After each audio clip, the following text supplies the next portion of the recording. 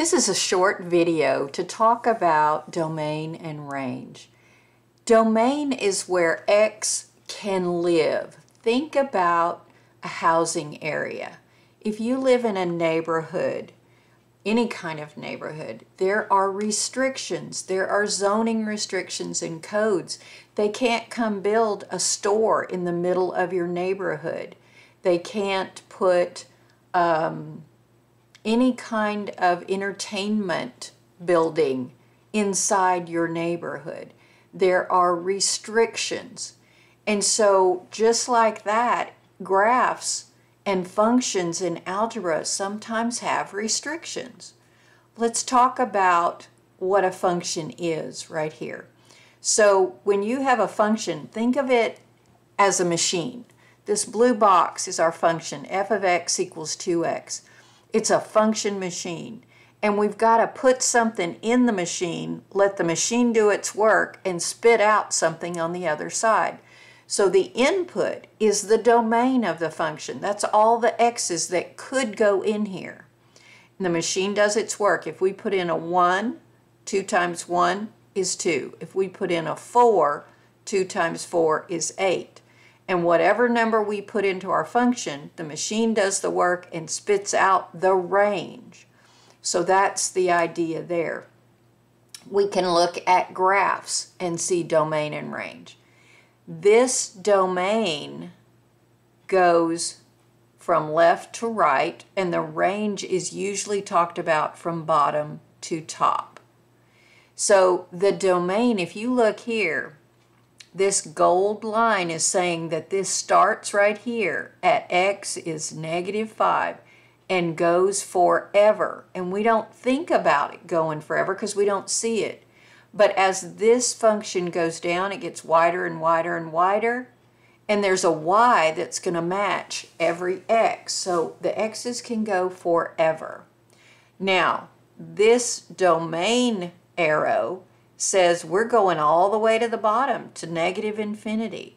So the range would be negative infinity, but it does stop right up here, say at 5, even though that isn't quite up to 5. We would say negative infinity up to 5. So range can be restricted, domain could be restricted. If we were looking at this picture of maps, we've got a domain of 1, 2, 3, 4 we've got a range of 1, 2, 3, 4.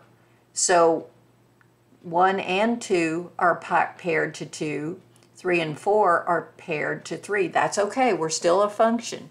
A function can only have one line coming out of it, but our domain is here, our range is here. Let's look at this example. So we've got something that is restricted on both ends. We've got an open circle, we got a closed circle. So for this one, what's the furthest left x we can have? It's at negative 3. What's the furthest left right x we can have? That's at 1. So we know our domain is from negative 3 to 1. It's restriction. It can't live out here. It can't live over here. Why do we have a parenthesis? Because this has an open circle. That's just a boundary at negative 3. It can't live there. He can go up to there, but he can't live there. This one has a closed circle, so we get a bracket because it can live at 1. Look at the next one. So we are restricted on the left. He doesn't live over here anywhere. What's the furthest left? It's at negative 5 with a closed circle. So we have a bracket, negative 5. But it is going forever because as we go down, the x's, every x can be paired with some y down here. So we would go to infinity, and infinity always gets a parenthesis because you can't get there.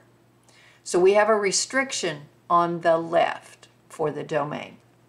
Now let's look at just a few functions written out.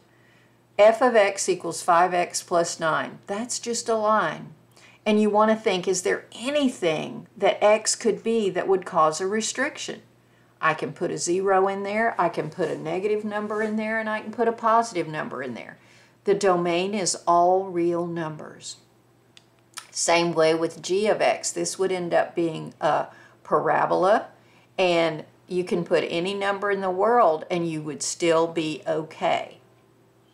Number three, this is a square root function. And what we need to remember is that inside the square root, inside the radical, this part must be greater than or equal to zero because you can't take the square root of a negative. So you take the inside over to the side and say that thing has to be greater than or equal to zero. Add the x to the other side and now you have 2 is greater than or equal to x or you could read it x is less than or equal to 2. That's your domain. You found the restriction and that's the domain. So if x has to be less than 2, look if I put 4 in there. 2 minus 4, nope, that's a negative 2. So that's how you can do it with radicals. Take what's inside and set it greater than or equal to 0. Now in number 4, we have p of x is 1 over x minus 2. There's a rule that we should know. We're not allowed to divide by 0. So this denominator can't equal 0. That's a way to find the restriction. Take the denominator, set it equal to 0, solve for x. If we add 2 to the other side, we get x is 2. That's not our domain, that's our restriction. x is 2 is our restriction. So the domain is x can be everything in the world except 2. It can't live at 2 because 2 would make that denominator go to 0. Let's look at a couple of other things. Looking at domain and range on a graph, and remember if it's closed in, you get a bracket. If it's an open, you get a parentheses. So you always want to go left to right on the domain, bottom to top on the range. So this one starts at negative 1. The furthest right we can go is 3. So our domain is negative 1 to 3. The range we talk about from bottom to top. Starts at negative 5, goes to 3. Everything is closed in, so we have brackets. Let's look at number 2. We note that we have a closed in over here on the left, but an open circle on the right. So the furthest left x is negative 4. The furthest right x is positive 4. So we are going negative 4 to 4.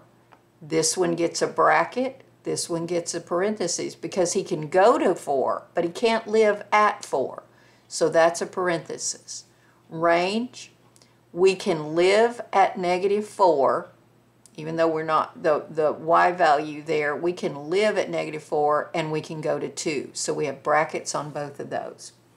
Number 3, both are closed, so we're going to have brackets from negative 5 to positive 4. The range, where do we start? What's the lowest y value? That y value is 0, and we can go to 4, still in brackets. Over here, it's similar graph. We start at negative 5. We can go to negative 1. Everything's included. The range goes from negative 4 on the bottom to positive 4 on the top. So when you look at a graph, domain, you want to start at the leftmost x, go to the rightmost x. Range, start at the bottom, go to the top. Let's look at another way to look at them.